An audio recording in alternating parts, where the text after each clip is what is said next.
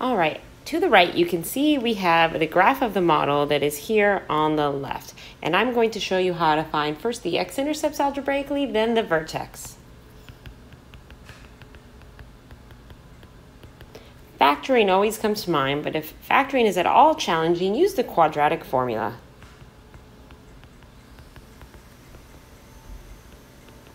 That's x equals negative b plus or minus the square root of b squared minus 4ac divided by 2a. Now, what are all these values, a, b, c? Well, let's rewrite r of x.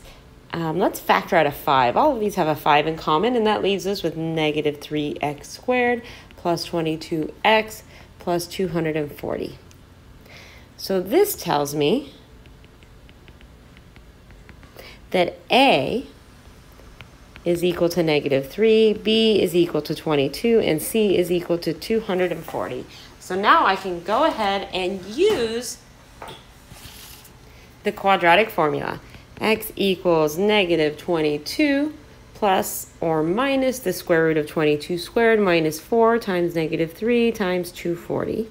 And all of this divided by 2 times negative 3.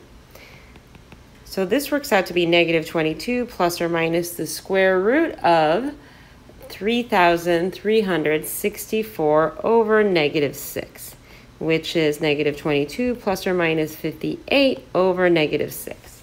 Now, if you notice, we have this plus minus. That means we have two expressions here.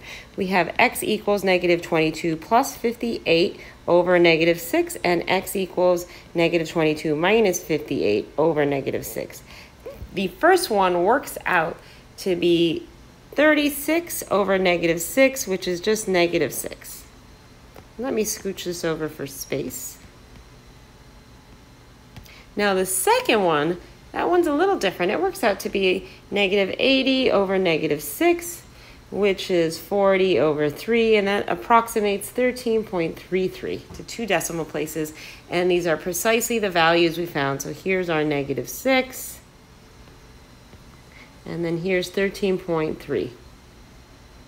And we found those using our graph earlier and using technology. Next, I'm going to show you how to find the vertex using algebra and not just technology.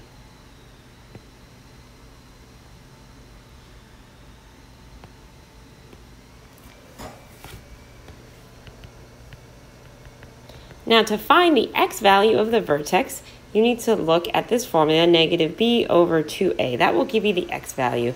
And again, um, let's rewrite r of x. I should have left that here. So that's negative, oh, excuse me, 5 times negative 3x squared plus 22x plus 240.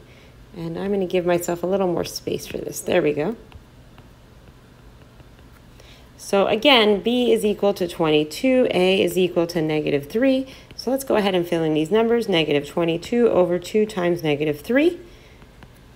And this will simplify to 11 over 3, which is just 3.67. And that jives what we have here as the x value. Of our vertex. Now to find the y value, go ahead and evaluate r at b, oh excuse me, negative b over 2a. So whatever value you get using this formula, go ahead and put it in for r. So I have 5 times negative 3 times 11 over 3 squared plus 22 times 11 over 3 plus 240. And this works out to be negative 5 times negative 121 over 3 plus 242 over 3 plus 240.